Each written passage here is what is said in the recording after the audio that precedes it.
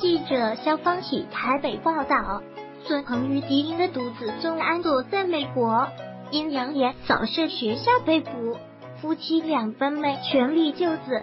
与两人有私交的蒋伟文今出席北海道和牛直送活动，表示我能体谅为人父母的心情，也希望他们可以顺利度过难关。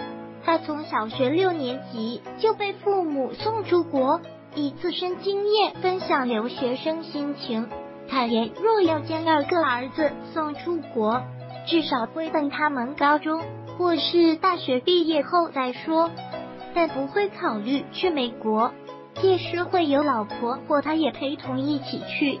儿孙安佐因一句玩笑话被认为有恐攻嫌疑，后来又被发现拥有一千六百发子弹和枪支，案情可能升级为联邦案件。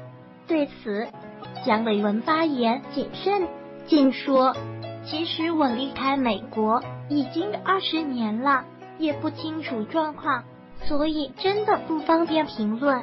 他也指出，当时去美国读书的华人没有像现在那么多，同学也都跟他一样是举家移民到美国。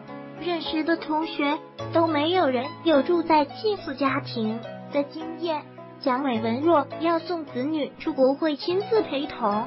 记者陈义全社，蒋伟文出席日本和牛邵氏记者会。记者陈义全社蒋伟文出席日本和牛邵氏记者会。记者陈义全社